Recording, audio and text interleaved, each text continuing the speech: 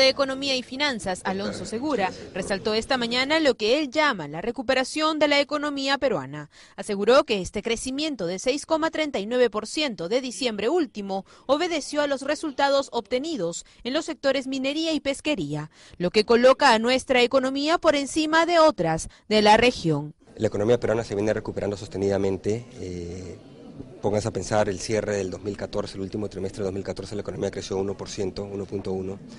Y de ahí ha venido trimestre a trimestre subiendo 1.8 el primero del 2015, 3% el segundo o tercer trimestre y 4.7 el, el, último trimestre del 2015. ¿no? Según dijo, espera que este crecimiento continúe el próximo año. ¿Qué esperamos para el próximo año? Que esta, esta trayectoria continúe.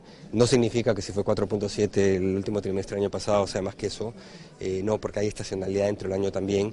Eh, no acostumbramos a hacer proyecciones, pero creemos de un año que fue 2.4 el 2014, eh, 3.3 el 2015 esperamos que esté por encima de eso el 2016. Responsabilizó al proceso electoral por la baja en las inversiones. Estamos en un proceso electoral, los procesos electorales en todos lados generan algo de incertidumbre que hace que algunas decisiones se posterguen hasta tener mayor claridad sobre cuál va a ser la conducción eh, política y de política económica hacia el futuro. ¿no?